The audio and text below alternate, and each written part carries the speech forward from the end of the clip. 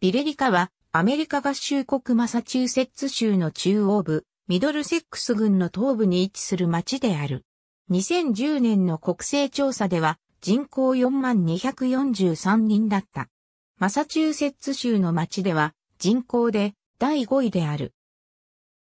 町の名はイングランドのエセックスにあるビレリキーから取られた。1630年代初期、ショーシーンという祈るインディアンの村が現在、ビレリカがある場所にあった。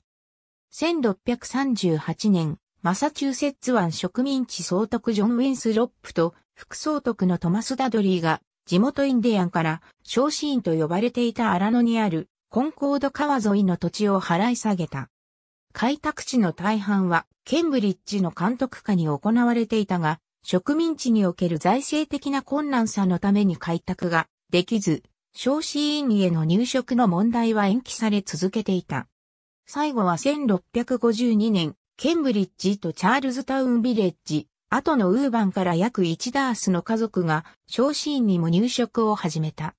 開拓者たちは外国語にも聞こえる少子院に変えて、ビレリカという名前を選んだ。これは、この開拓地に住んでいる家族の大半がもともと、イングランドのエセックスにあるビレリキーから来ていたという事実による可能性が強い。町は1655年に法人化されたが、これは近くにあるチェルムスフォードとグロトンの各町の法人化と同じ日だった。この町で最古の現在も残る家屋は、1696年に建設されたマニングマンスの家であり、後にウィリアム・マニングの家となった。マニングは自由の鍵の著者であり、連邦主義政策の評論家だった。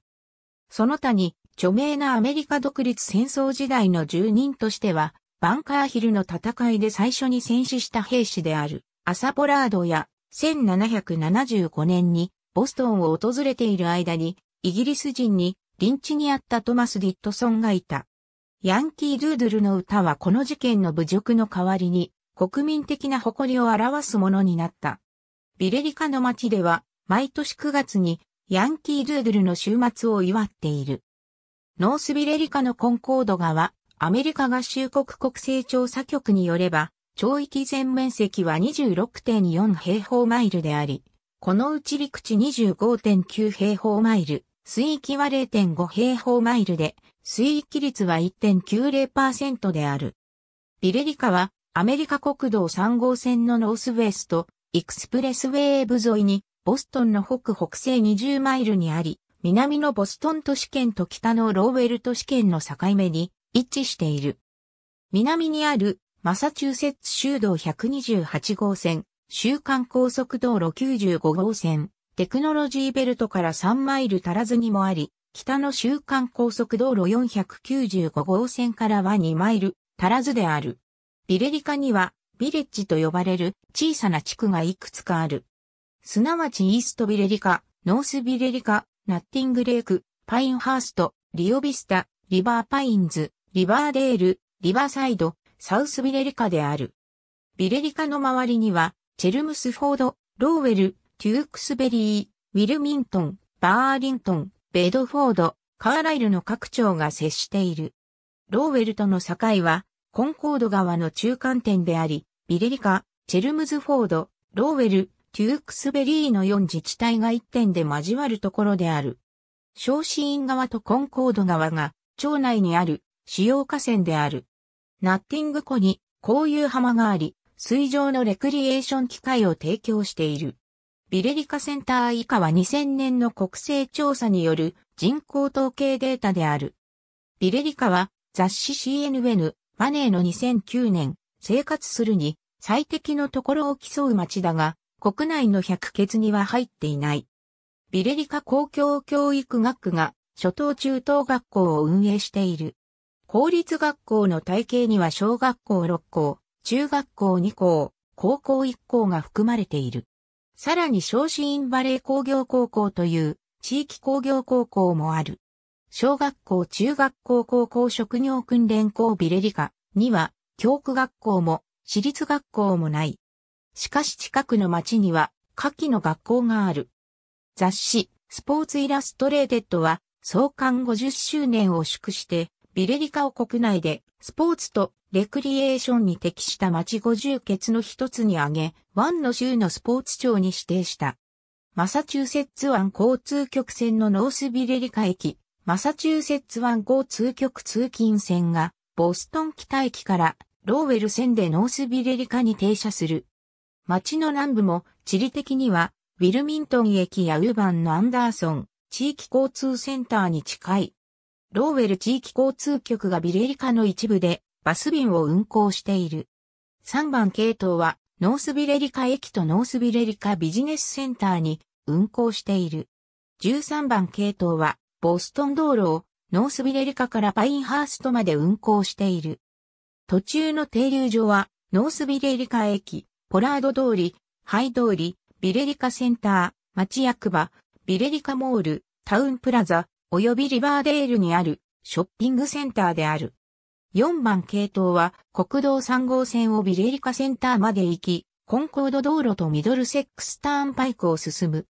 ミドルセックス運河は1795年から1853年にビレリカの町内を流れ、ローウェルとボストンの間で貨物輸送に使われた。この輸送路があったので、ビレリカはローウェルへの入り口と呼ばれた。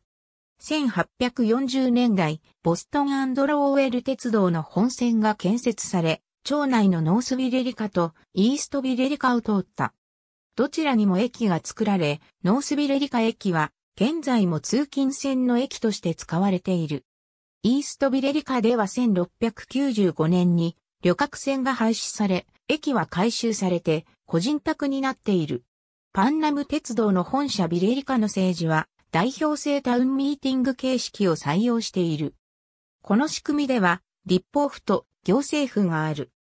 タウンミーティングが町の立法府であり、約240人の代表が町の11選挙区から選ばれ、年2回ある会期で2週間ごとの集会で町に関することを民主的に評決していく。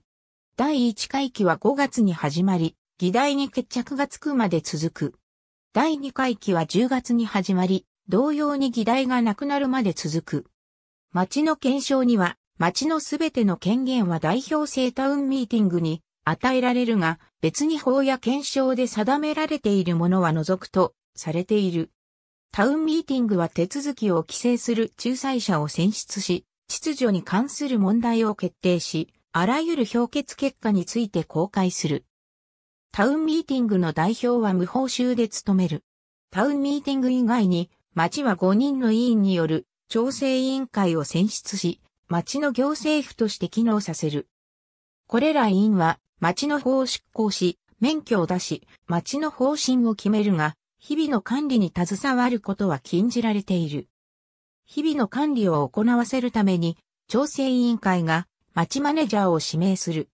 調整委員会の他に、町の選挙では、教育委員会を選出し、監督官を指名し、公共教育の規則を定める。町の事務官は、町の記録を管理し、上昇の管理人として機能する。企画委員会は、町の資源、将来の可能性、その時の需要について研究し、企画を立てる。条件省は公共事業部を作って町のユーティリティに関するサービスを行うことも規定している。ビレリカはアメリカ合衆国下院議員マサチューセッツ第6選挙区に属している。ミドルセックス共生部がトレブルコーブ道路近くにある。この監獄はミドルセックス軍保安官事務所の管轄下にある。ハウスクールビレリキー。ありがとうございます。